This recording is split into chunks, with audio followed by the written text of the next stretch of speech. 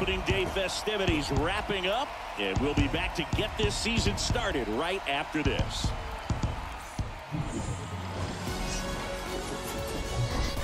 And welcome into the ballpark. Happy to have you with us. Opening day baseball on the show. It's the Cincinnati Reds and the Milwaukee Brewers.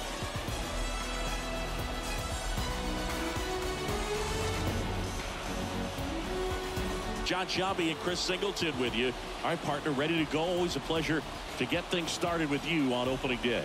Well, happy new year, buddy. And anyone that's involved in baseball, even though it's not January 1st, this is the start of a new year.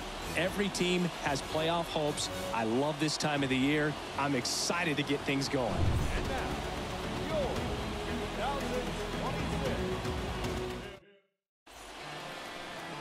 Just about to get started and toeing the slab here, Corbin Burnes. What do you look for here?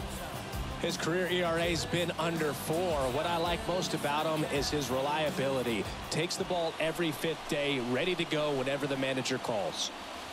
One down. Here's the second baseman, Jacob Davis.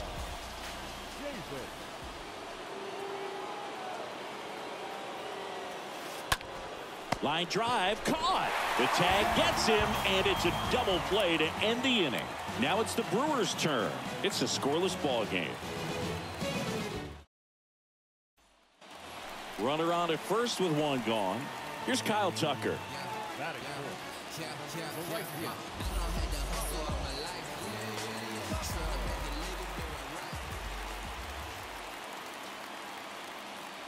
The 0-1. Bounced up the middle. Dive, and he's got it. To Adames, that's one. Double play. And that'll do it for the inning. Acrobatic play to get this one started. Determined to get a good flip. And that flip leads to an inning-ending double play.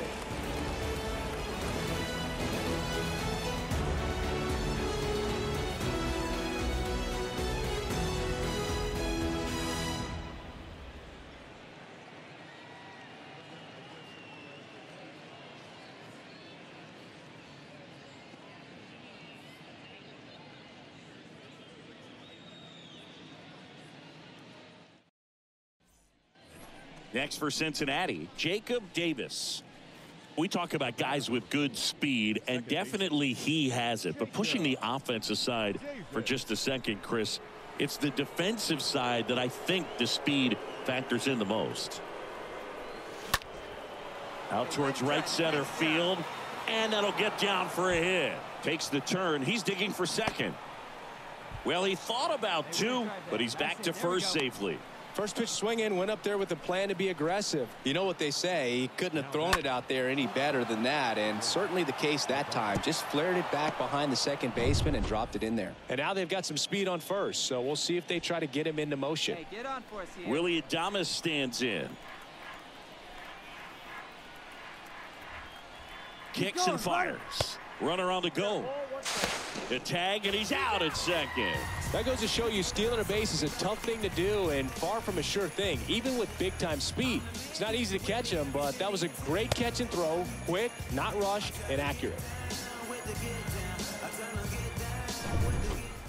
One out, base is empty. And ready to hit now for Cincinnati, Jacob Davis. Hey, you can do it, kid. You talk about the power there. and the Let's go speed together. Well, we knew he was going to be a stud just coming up, making his way through the minor leagues, and quickly at this level, an impact player. Bounce to the left side. Bichette collects it. Over to first. Out. Two out. Up next for Cincinnati, the shortstop, Willy Adames.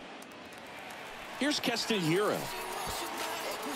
Well, he's so good about trying to drive the ball to the opposite field gap in these situations. If he takes that approach, he could bust this game wide open. And a pitch. On the ground, right side. Base hit. One run is in. The tag, and that's out number three, inning over. We look ahead to inning number eight. It's the Brewers six and the Reds two.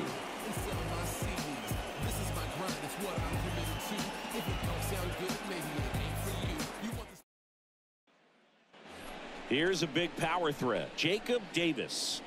Uh, let it fly. Second baseman, Jacob Davis.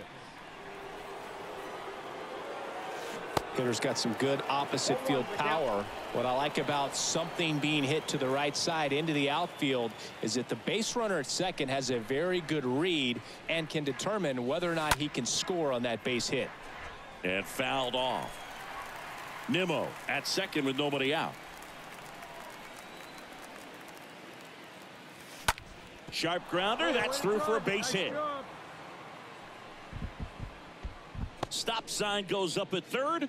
Runners at the corners. Nobody out. Two consecutive base hits for these guys here. Not a bad pitch by any means. Down and away, right on the corner of the zone. Just a better swing, Boog. Stayed through it and hit it hard the other way. Here goes the runner. And there's ball four. Well, the stage has been set for this offense, Boog. It's all about creating opportunities, and this is one of them right here. In now for the Reds, Triston Casas.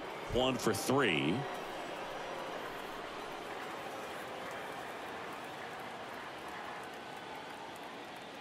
The tying run at the plate. Hit on the ground might be two. The throw to second, and a run scores on the double play.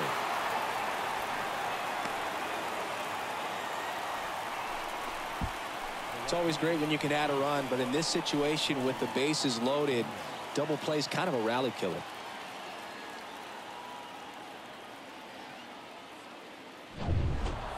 Man in scoring position with two away.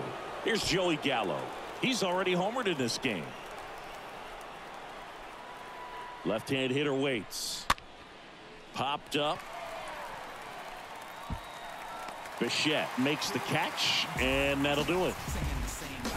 So they pick up a run on two hits, no errors, and a man left. Home half of. Well, his first save of the season is in the books, and that was a nice job of him coming in the game and closing it out. He's off and running now.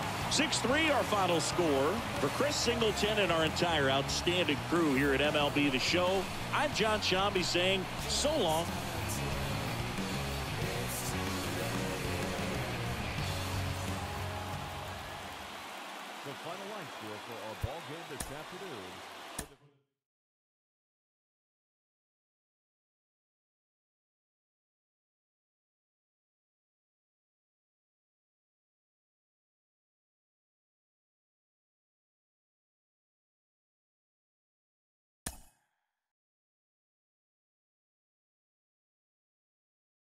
Yeet.